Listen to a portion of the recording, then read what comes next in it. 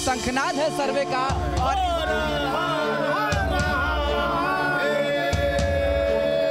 स्वागत करता हूँ कि एएसआई की सर्वे के माध्यम से सच्चाई बाहर आएगी।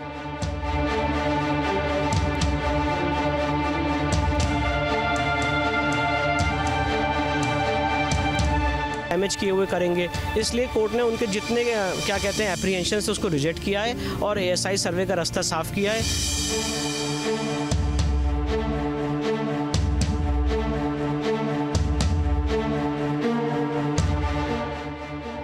ज्ञानवापी में सर्वे जारी। अब मथुरा की तैयारी।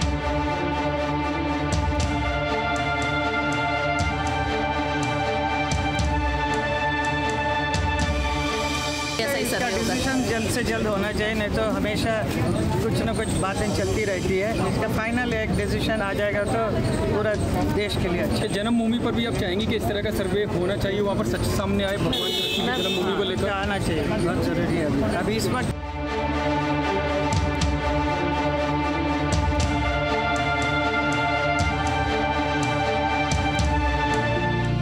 अयोध्या में श्री राम अवतार। काशी में खुलेगा शिव द्वार।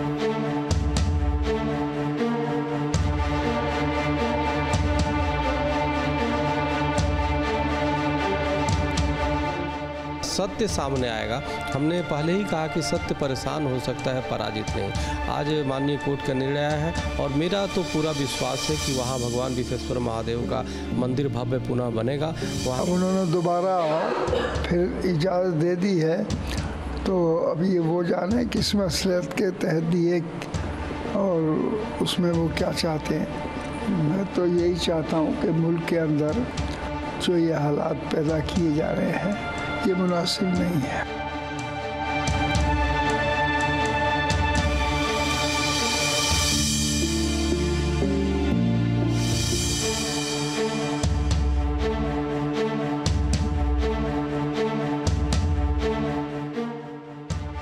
जौनपुर बदायूं आगरा बनेंगे सनातन की धरा।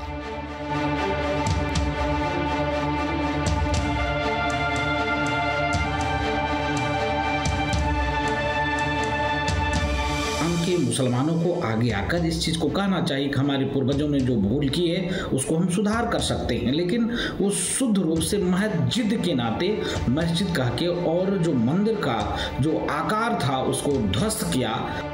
मंदिर, मस्जिद और जिद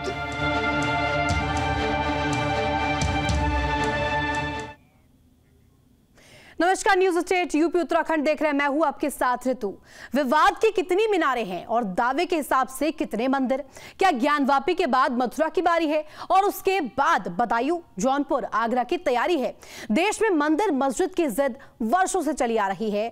अयोध्या में भव्य श्री राम मंदिर का निर्माण हो रहा है।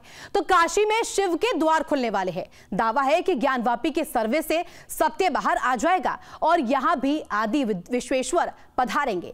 ज्ञानवापी में सर्वे के आदेश के बाद मथुरा में कृष्ण भक्तों की भी आज जग उठी है। हिंदू पक्ष का कहना है कि वो ज्ञानवापी केस को आधार बनाकर कोर्ट में शाही ईदगाह मस्जिद के सर्वे की मांग करेगा। कहानी यही खत्म नहीं होती है। उत्तर प्रदेश के जौनपुर की अटाला मस्जिद हो या फिर बदायूं की जामा मस्जिद। यहाँ भी हिंदू पक्ष सर्वे कराने की मांग कर रहा है। ऐसे में सवाल है कि मंदिर मस्जिद विवाद पर फुल स्टॉप कब लगेगा? एक रिपोर्ट के मुताबिक देश में कुल अठारह सौ छप्पन ऐसे स्थान है। यहाँ धर्म स्थलों पर विवाद है। और उत्तर प्रदेश में इसकी संख्या दो सौ निन्यानवे है। आज हम उत्तर प्रदेश के उन बड़े धर्मस्थलों की बात करेंगे, जहाँ विवाद है। सबसे पहले रिपोर्ट आपको दिखाएँगे ज्ञानवापी की, जहाँ पर सर्वे का आदेश आया है।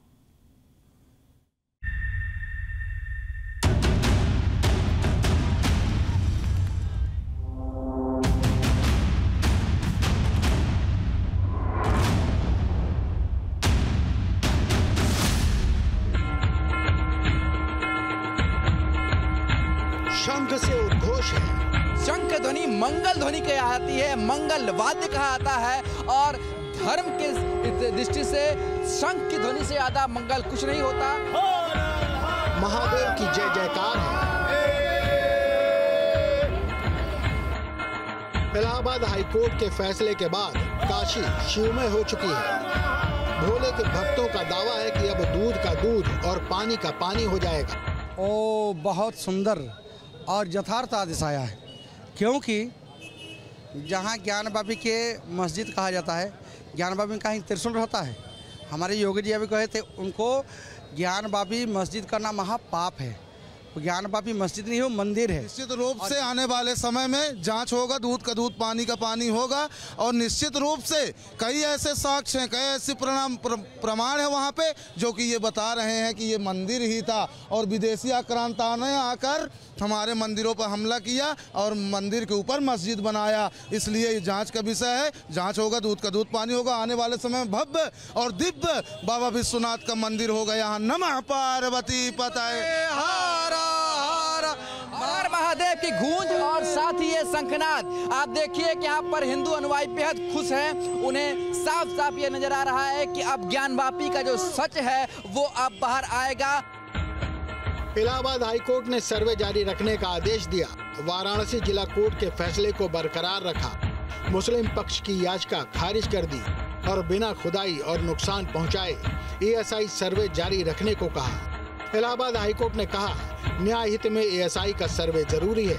कुछ शर्तों के साथ इसे लागू करने की ज़रूरत है। ये ने कल से सर्वे शुरू कराने के लिए हमसे सहयोग मांगा और उनको जो सहयोग चाहिए वो हम उनको उपलब्ध कराएँगे 21 जुलाई को वाराणसी जिला जज ने ज्ञानवापी के एएसआई सर्वे का आदेश दिया था। एएसआई सर्वे के आदेश के बाद 24 जुलाई को सर्वे शुरू हुआ। करीब चार घंटे सर्वे चलने के बाद सुप्रीम कोर्ट ने मुस्लिम पक्ष की याचिका पर सुनवाई करते हुए सर्वे पर 26 जुलाई शाम पाँच बजे तक अंतरिम रोक लगा दी।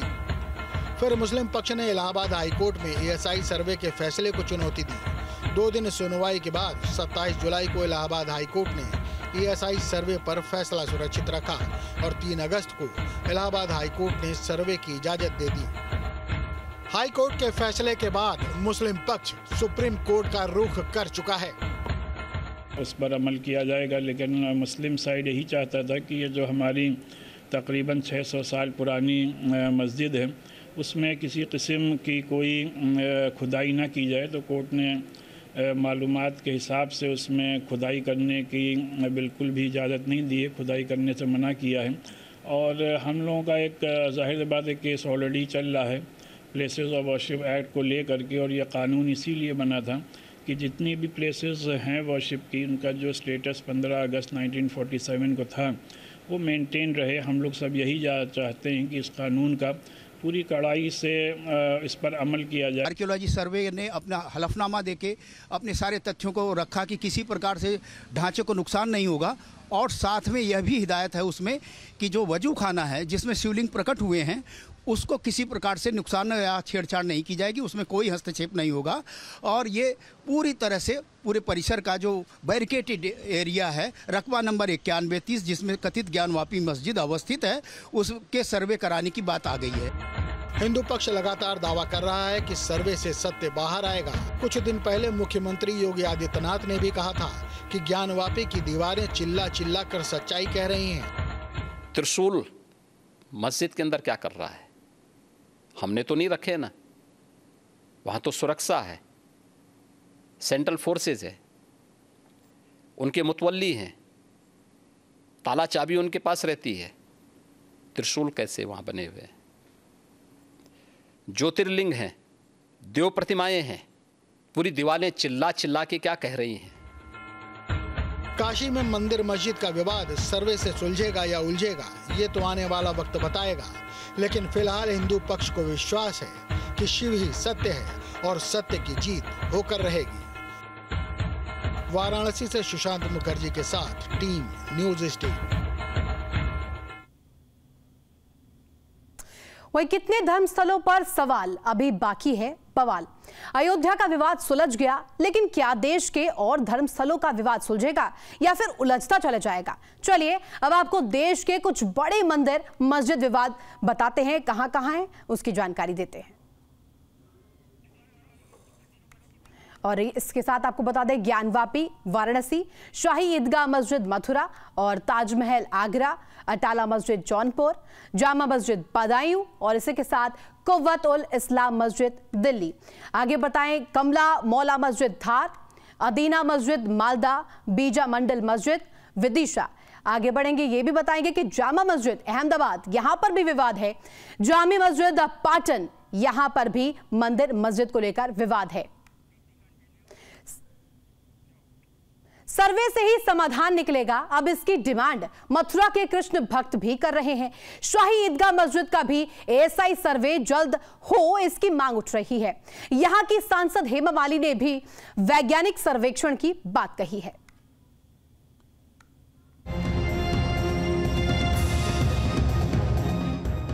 ज्ञानवापी के सर्वे के आदेश के बाद मथुरा के कृष्ण भक्तों की भी आज जग उठी है।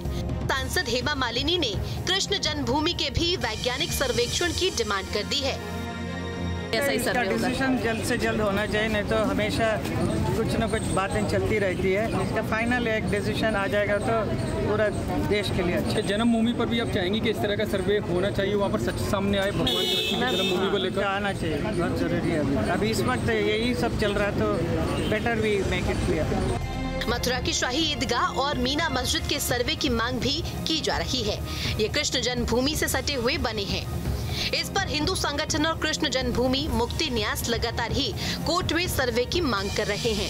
उनका दावा है कि ये कृष्ण जन्मभूमि पर बनाए गए हैं। जो वहाँ की रिपोर्ट है इसको भी हम हाई कोर्ट में लगाएँगे। कि भाई ऑलरेडी जब बनारस का सर्वे हो चुका है तो मथुरा का भी सर्वे कराया जाए। क्योंकि सेम पोजीशन है सेम सिचुएशन है और मथुरा की पोजीशन तो उससे कई गुनी बेटर है। मथुरा में पूरा विवाद करीब तेरह दशमलव सैतीस एकड़ ज़मीन का है। दो दशमलव सैतीस एकड़ ज़मीन में शाही ईदगाह मस्जिद बनी हुई है। हिंदू पक्ष ये मांग कर रहा है कि मस्जिद को हटाकर ये मंदिर बनाई जानी चाहिए।